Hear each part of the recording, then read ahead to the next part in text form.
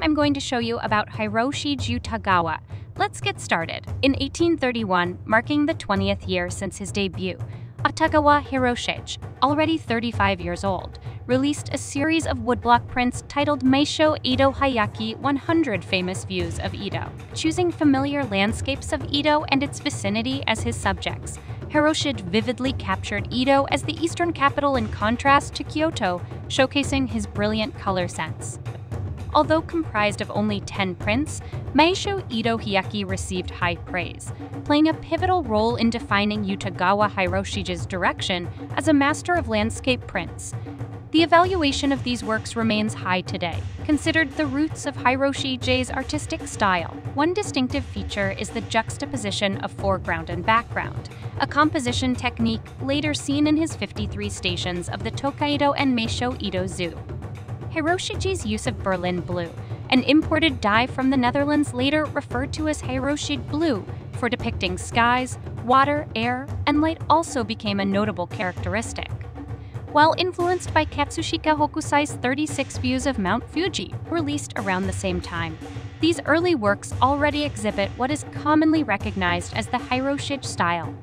One particularly well-known piece is Nihonbashi no Shirase Nihonbashi in a downpour, where the misty Nihonbashi in the rain and the distant Mount Fuji are depicted. Rather than portraying Edo as a sunny tourist destination, this piece captures everyday life, showcasing Hiroshige's unique perspective.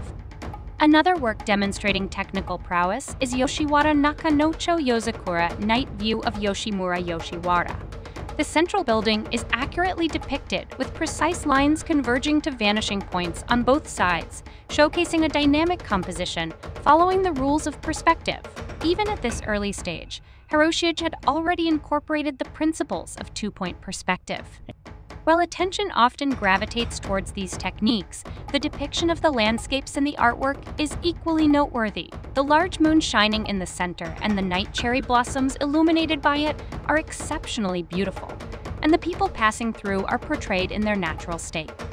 Capturing the now of people's lives, these scenes affirm that these works are not merely landscapes, but indeed ukiyo-e pictures of the floating world.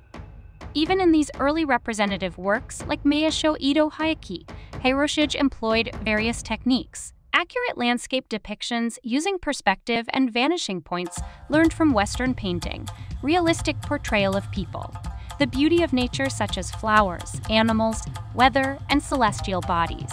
All these elements, honed during his challenging early years, that flourished rapidly in his subsequent work. Utagawa Hiroshige was a Japanese ukiyo-e artist particularly renowned for his landscape prints. He worked during the Ansei era 1848-1854 and the late Edo period. He is best known for his series such as 53 Stations of the Tokaido, Koke Kaido Gojusan Tsugi, and 100 famous views of Edo Inehon Meisho Edohaya. Master of Landscape Art, Hiroshige excelled in the field of landscape art, depicting Japanese landscapes, cities, highways, and famous sites with a unique observational eye and expressive style. His masterpiece is considered to be the series 53 stations of the Tokaido, illustrating 53 post stations along the Tokaido Highway from Edo to Kyoto, vividly portraying the landscapes and people of each station. He's also known for 100 famous views of Edo, a series depicting 100 scenes of famous places in Edo, providing insights into the city's atmosphere and surroundings during the Edo period. Member of the Utagawa School, Utagawa Hiroshige belonged to the Utagawa School, a group of ukiyo-e artists. The Utagawa School, including Hiroshige, produced various genres of ukiyo-e prints. Although Hiroshige passed away in 1858, his works continue to be appreciated, loved, and have had a lasting impact worldwide. His influence extended to later generations of artists and even reached Western Impressionists. Thank you for watching and don't forget subscribe.